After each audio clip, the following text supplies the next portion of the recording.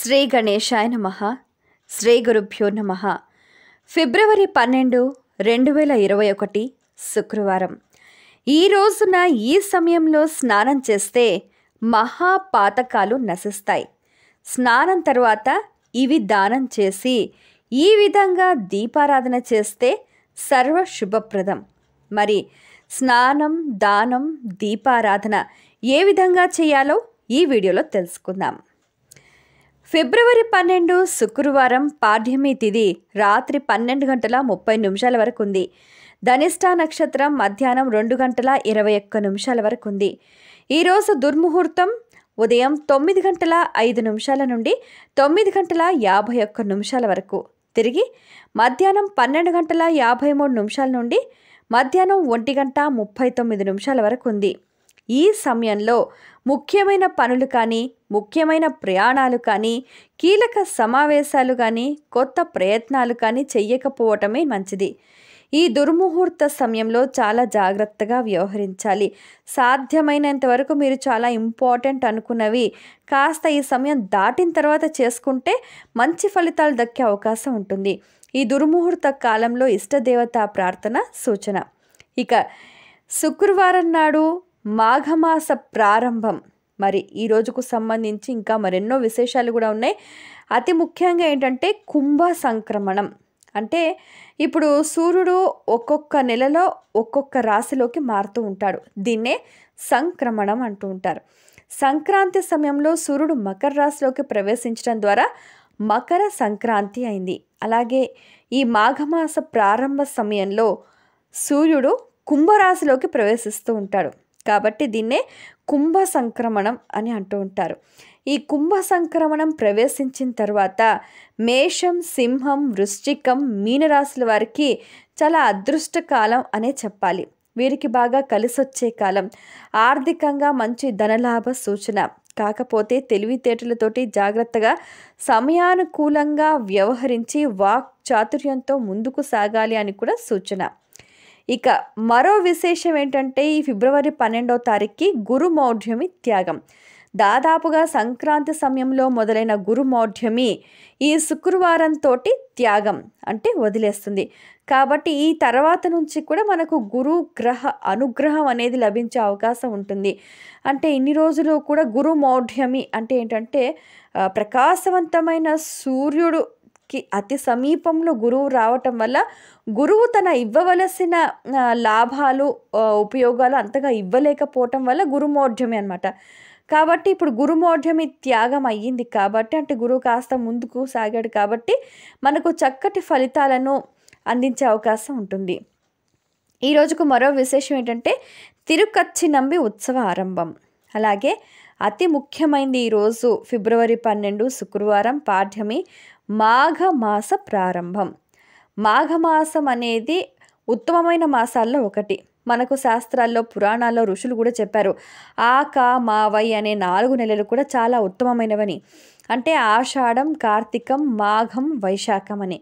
ఆకామావై అయితే వీటిలలో మాఘమాసం అనేది ఉత్తరాయణ పుణ్యకాలం ప్రారంభమైన తర్వాత వచ్చే మాసం కాబట్టి మరింత శ్రేష్టమైంది. మాఘము అంటే పాపం లేని మాసము అని. అలాగే చంద్రుడు మఖా నక్షత్రంలో కూడుకున్న మాసం. ఈ మాసం విష్ణుమూర్తికి చాలా ప్రీతిప్రదమైన మాసం. ఉత్తరాయణ పుణ్యకాలంలో వచ్చే మాసం ఇది. ఇదేనంటే సూర్యోదయానికి ఒక్క అరగంట ముందు చేసే స్నానాలు చాలా ఫలవంతమైనవి.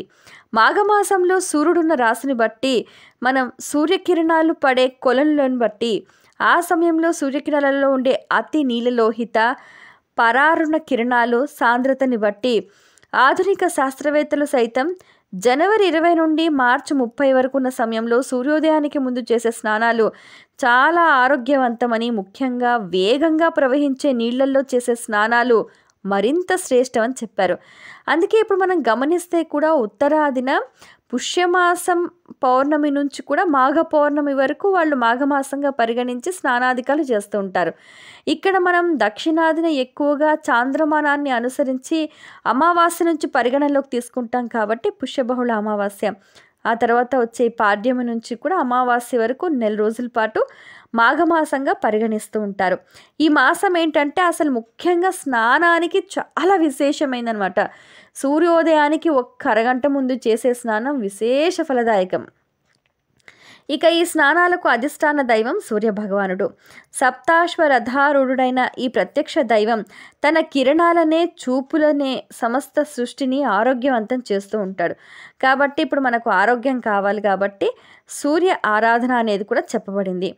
అందువల్లనే స్నానానంతరం సూర్యభగవానుడికి అర్ఘ్యం సమర్పించడం అనేది ఒక ఆచారంగా వస్తుంది.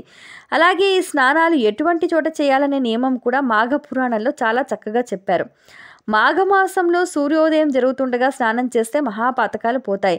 బ్రహ్మచారులు గృహస్థులు వానప్రస్థులు భిక్షకులు ఈ నాలుగు ఆశ్రమాలు కూడా ఎవరైనా కూడా చేయొచ్చు. సూర్యుడు మకరంలో ఉండే సమయంలో సూర్యోదయానికి మునుపు వేడి నీటిలోనైనా ఇంట్లోనైనా స్నానం చేసినా ఆరు సంవత్సరాలు అఘమర్షణ స్నానం లభిస్తుంది. బావి నీటి స్నానం చేస్తే ఏమొస్తుందంటే పన్నెండేళ్ళ పుణ్య స్నాన ఫలం వస్తుందట. తటాక స్నానం చేస్తే ద్విగుణం నదీ స్నానం చేస్తే చతుర్గుణం మహానది స్నానం చేయటం వల్ల శతగుణం మహానది సంగమ స్నానానికి దీనికి ఇంత చతుర్గుణం ఫలితం. గంగా స్నానం సహస్రగుణం గంగా యమున సంగమ త్రివేణి సంగమ స్నానానికి శతగుణ ఫలాలు ఉంటాయట చూసారా? ఒక్క నదిలో చేస్తే ఎలాంటి ఫలితం ఉంటుంది? తటాకంలో చేస్తే ఎలా ఉంటుంది? సంగమంలో చేస్తే ఎలా ఉంటుంది? త్రివేణి సంగమంలో చేస్తే ఎలాంటి ఫలితం ఉంటుందంటే శతగుణ ఫలితాలు ఉంటాయట. కాబట్టి ఈ మాఘమాసంలో స్నానం అనేది చాలా ముఖ్యమైనది. ఈ మాఘంలో ఇంట్లో స్నానం చేసేటప్పుడు గంగా యమున గోదావరి నది సరస్వతి అన్నట్టుగా ఆ దివ్యమైన నదీ పేర్లను తలుచుకుంటూ స్నానం చేయాలి. ఈ మాసమంతా కూడా నియమంగా ఏదైనా పారాయణ జపం అర్చన వంటివి చేస్తే విశేష ఫలదాయకం. అరుణోదయ సమయంలో నారాయణ పాదపద్మాలను ధ్యానిస్తూ స్నానం చేసేవాళ్ళు దేవతల చేత పూజింపబడుతూ ఉంటారట. ఒకవేళ దేవతలు కాకపోయినా ఇహలోకంలోనైనా వేరే వాళ్ళ చేత కాస్త గౌరవ మర్యాదలు పొందినా అది పూజింపబడినట్టే కదా. కాబట్టి మాఘమాసంలో స్నానం చేయాలి. అయితే మాఘమాసంలో ఏ సమయంలో ఏ స్థలంలో స్నానం చేయాలో కూడా పురాణాలు చాలా చక్కగా వివరంగా చెప్పాయి. తెల్లవారుజామున నక్షత్రాలుండగా స్నానం చేయటం ఉత్తమం. నక్షత్రాలు లేనప్పుడు స్నానం చేయటం మధ్యమం. సూర్యోదయం అయిన తర్వాత స్నానం చేయటం వాధమం నిష్ఫలం. మాఘమాసంలో ప్రయాగ త్రివేణి సంగమంలో స్నానం అతి ప్రశస్తం. కాశీలో నూరు రెట్ల ఫలం. మనకు వీలైన ఏ నదిలో అయినా సరే ఇంట్లో అయినా సరే స్నానం చేసేటప్పుడు ప్రయాగ అని స్మరించినా చాలు ఉత్తమమైన ఫలితం లభిస్తుంది. లేదా గంగా అని స్మరించినా చాలు ఫలితం తత్సమానంగా వస్తుంది. ఇక స్నానానంతరం తిలలు ఉసిరికలు దానం చేసుకోవాలి. రోజు నియమంగా శివ పూజ విష్ణు పూజ అభిష్ట దేవతా పూజ చేసుకోవాలి.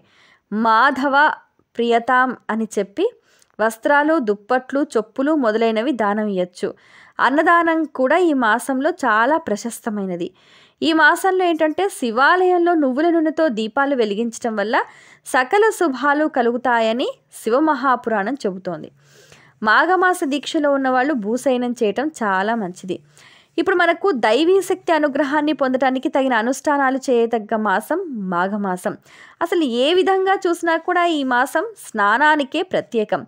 సూర్యోదయానికి ముందే లేచి చక్కటి స్నానం చేసి నదీ స్నానం చేస్తే మరీ ఉత్తమం. అది లభించకపోతే నూతి స్నానం లేదా ఏ జలమైనా సరే. నదులను తలుచుకుంటూ స్నానం చేయటం వల్ల వచ్చే ఫలితం మాటల్లో వర్ణించటం అసాధ్యం. ఈ వీడియో కనుక మీకు నచ్చినట్లయితే లైక్ చేయండి షేర్ చేయండి. మరిన్ని విషయాల కోసం మా ఛానల్ను సబ్స్క్రైబ్ చేయండి.